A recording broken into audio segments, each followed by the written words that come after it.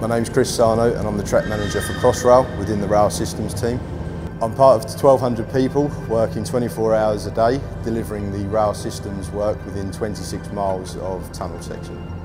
Permanent track has been installed to date between Plumstead up to Stepney Green and from Royal Oak Portal to Bond Street. There are five different track forms being installed within the system uh, of which 80% is the standard track slab construction. The other 20% includes direct fixed track, which is installed at Connaught Tunnel. There's floating track slab, two different types being installed. There's also high attenuation sleepers as well. We use some mobile gantry cranes, which we use to distribute the rail off the back of the train, and also the sleepers are then run out onto the first stage concrete. We then fix the rails and the sleepers together. We elevate the track above the first stage concrete. We, we install that to its correct horizontal and vertical levels. Uh, once we verified that, we then place the concrete by means of concrete shuttle, as we are doing here in the west, and also with a concrete train which we use down in the east from Plumstead.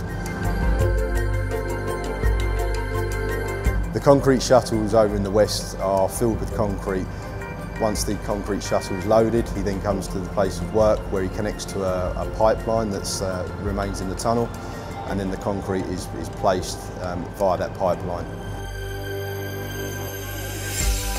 Whilst the concrete is being placed, there's another two shuttles that are being loaded with concrete and then those two shuttles then come and meet the first shuttle. Concrete is then transferred from the last two shuttles into the first shuttle by means of conveyor and then that is then pumped through the concrete pipeline into position. We have a gang of concrete finishers that come through and ensure that the concrete is placed to the correct level around the sleepers.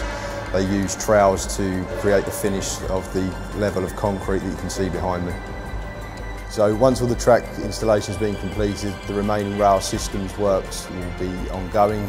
This includes mechanical and electrical, signalling systems, permanent ventilation, overhead line catenary and power.